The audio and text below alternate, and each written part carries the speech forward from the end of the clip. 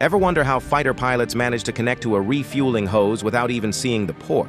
Inside a cockpit, the pilot can't see the exact position of the refueling port. So how do they pull off precise mid-air refueling at hundreds of kilometers per hour? It all depends on the type of refueling system being used, soft pipe or hard pipe.